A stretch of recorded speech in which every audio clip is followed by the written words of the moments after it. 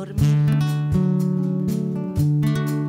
Y como siempre que me pasa esto, me acuerdo de ti.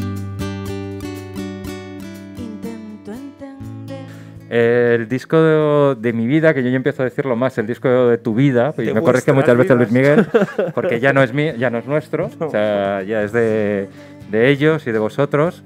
Es un proyecto que se me ocurrió ahí en mitad de la pandemia, que estaba ahí escuchando discos en casa, ahí compulsivamente, no también series de Netflix, no, no soy tan loco para solamente escuchar discos, y, repasaba discografía y me empecé a preguntar cuál era el disco más importante de mi vida, o cuál podría haber sido, y este, con estas locuras que hacemos los que somos un poquito melómanos, que nos preguntamos cosas absurdas, que realmente son muy importantes, aunque solamente para nosotros, muchas de ellas. Y, y, se me ocurrió pensar que si esto me ocurría a mí, a los músicos que no estaban en, en su casa, donde se había pillado toda esta locura y sin poder tocar, que era como de, hostia, se ha parado el mundo de verdad.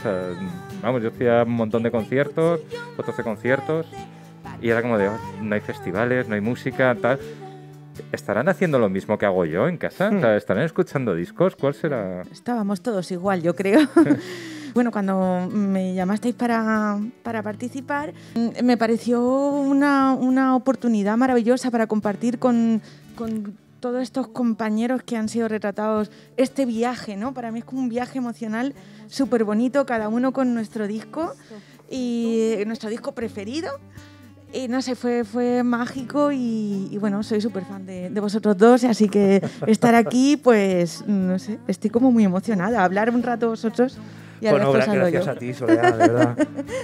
Eh, la verdad es que ha sido un gusto, porque además me he dado cuenta de que hablar con los músicos, salirse de la típica entrevista promocional, y esto seguro que lo compartes conmigo, hace que se abran mucho más, que, estén más, más a gusto y, que están hablando de la música de otros, que, es la que les ha impactado a ellos. Entonces, se crean momentos muy emotivos. O sea, yo recuerdo a Amparo Sánchez, que la tenéis ahí, Amparanoia, eh, con, su disco de Billie Holiday, para ella era como una especie de diosa que decía, ¿qué ella decía, ¿qué haría Billie en este momento? ¿no? Y, se emocionaba hasta las lágrimas diciendo, es la primera foto que me hago con Billie, ¿sabes? O sea, llegará momentos así, o, Miguel Ríos, que es historia de, ya no de la música, sino de la cultura española en el año 59 abriendo las cajas donde estaban los discos del, primer disco de Elvis Presley, ni más ni menos, ¿no? O sea, es que ha habido unos momentos de, verdad, o sea, solo de recordarlo se me pone la carne de, de gallina. Yo en mi casa,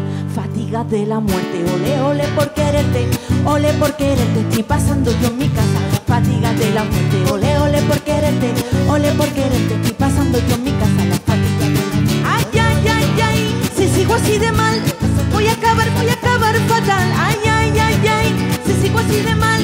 voy a acabar en el hospital. Ay, ay, ay, ay, si sigo así de mal, voy a acabar, voy a acabar muy mal. Ay, ay, ay, ay, si sigo así de mal, voy a acabar en el hospital.